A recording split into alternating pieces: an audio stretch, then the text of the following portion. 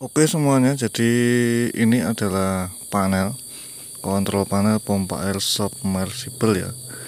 Jadi kelengkapannya seperti ini ada MCB, terus WLC, ini ketambahan dimmer, terus ketambahan magnetic kontaktor dan daya listriknya menggunakan yang 16 ampere ya. 2200. Oh 2000. Oh ini diganti MCB-nya ya 2200 itu adalah 10 ampere sebenarnya. Jadi untuk keluhan pompa air ini tuh airnya ada tapi pompanya nggak kuat ngangkat ya.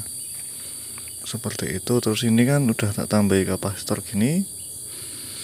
Jadi ketika ini sumurnya benar spesifikasi spesifikasi yang dipakai adalah sumurnya itu kedalaman sekitar 180 ya. Itu sekitar 180 kemudian ini sumurnya dan juga dilengkapi menggunakan sensor air juga. Apabila debit air habis maka pompa air akan mati dengan sendirinya. Namun di kesempatan kali ini ini tuh ada permasalahan di mana pompa airnya itu nggak kuat ngangkat ya. Nah kalau pompa air itu nggak kuat ngangkat yang terjadi e, adalah pertama itu ada kotoran yang e, menimbun di atas pompa atau di pipanya gitu. Karena ini e, apa silnya atau klepnya itu nggak dilubangi ke bagian pompa. Nah untuk cara mengatasi kejadian seperti ini kita harus memastikan dulu tegangan listriknya. Tegangan listriknya tuh di angka berapa sih?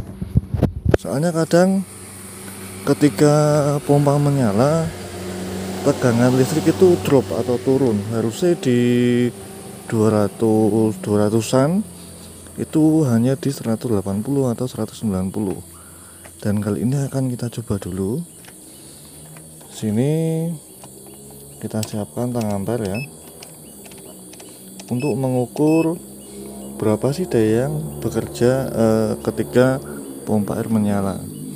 Jadi untuk menyalakan kita tinggal tekan tombol on ya ada motor lewat mohon maaf ya. Kita tekan tombol on deng. Kontaktor bekerja. Ampere pun berjalan. Ampernya di 9,7 ya.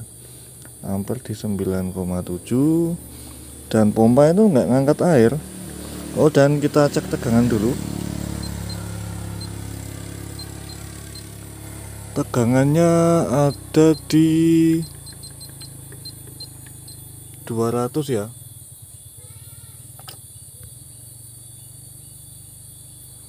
Tegangan di sini dirasa menurut saya ini sudah cukup mumpuni untuk kebutuhan pompa air dengan daya 9 ampere ya. Enggak turun-turun banget. Jadi seperti ini ya ini pompanya pun nyala bunyi tapi dia nggak kuat ngangkat. Nah penyebabnya tadi udah tak sampaikan ya di mana ada apa itu kotoran atau debu-debu atau kayak pasir-pasir gitu itu mengendap di klep di atas pompa ya. Itu penyebab pertama. Nah untuk cara mengatasi atau mencoba itu adalah kita jumper kapasitor ya yang lebih gede lagi untuk menambah uh, horsepower dari pompa tersebut. Tapi ada apa ya namanya ada akan ada permasalahan ketika kita pasang kapasitor yang melebihi melebihi dari kapasitas pompa air tersebut. Jadi di sini kapasitor adalah 50 mikro ya. Kelihatan ya nih Nah, ini kapasitor adalah 55 mikro. Nanti apabila kita ganti menggunakan atau kita tambah menggunakan kapasitor yang di atasnya 55 mikro yang terjadi adalah pompa air akan panas ya. Itu yang pertama. Dan daya tahannya pun akan menurun. Seperti itu. Cara ini hanya boleh dilakukan ketika uh, urgent aja ketika darurat aja ya. Seperti itu dan di sini mungkin anda bertanya kenapa dikasih yang namanya timer. Jadi timer di sini difungsikan untuk mendelay karena debitnya itu e, naiknya lama di sumur tadi yang tak videokan itu naiknya lama banget. Jadi pompa air itu hanya dinyalakan e, 6, 6 jam sekali ketika debit air ada. Seperti itu untuk menjeda untuk mendelay seperti itu. Dan ini juga masih bekerja pompa airnya muter tapi uh, dia tuh nggak dapat ngangkat air. Coba kita cek lagi. Apakah ngangkat apa enggak ya? Mungkin anda pernah mengalami hal seperti ini di mana pompa airnya tuh nggak ngangkat dan lain sebagainya bisa komentar di kolom di bawah ini ya. Untuk kalian pompa air submersible. Karena ini juga pompa air Cina jadi emang bagaimana lagi ya. Kalau Green Post ini agak mending tapi ini Cina jadi harga murah. Mungkin dengan kualitas yang di bawah jauh. Untuk spesifikasi pompa air Green Post atau Franklin atau Ebara. Dan oke mungkin sekian dulu video kali ini dan nanti akan tak coba akan tak videokan. Ketika eh, kita tambah kapasitor dan lain sebagainya. Dan untuk cara yang kedua yang bisa dilakukan adalah mencabut pompanya ya ini. Ini kan di kedalaman 120 nanti akan kita cabut. Sebenarnya kita cabut kita naikkan kemudian kita bersihkan pipa-pipanya kemudian baru kita pasang kembali seperti itu ya.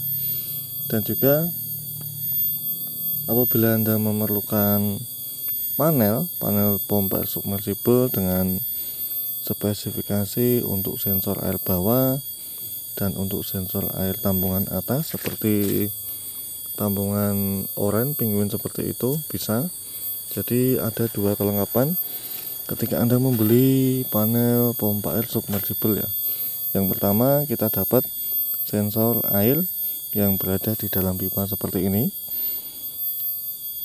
Dan kita sinkronkan dari power listrik eh, masuk ke panel dulu.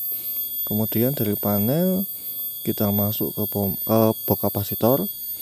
Kemudian baru dari panel masuk ke elektroda pompa ya seperti itu jadi apabila anda memiliki pompa air submersible namun debit airnya uh, kadang cepat habis kadang naik kadang habis kadang nggak ada air lah itu wajib anda menggunakan panel model-model seperti ini ya mirip-mirip seperti ini.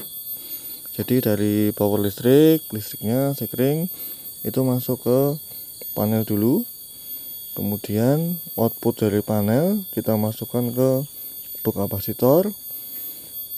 Dari box kapasitor kita menuju ke pompa air sana seperti itu. Oke mungkin sekian dulu. Nanti akan tak lanjutkan ketika kita telah ganti kapasitor apakah bisa naik airnya atau enggak ya. Oke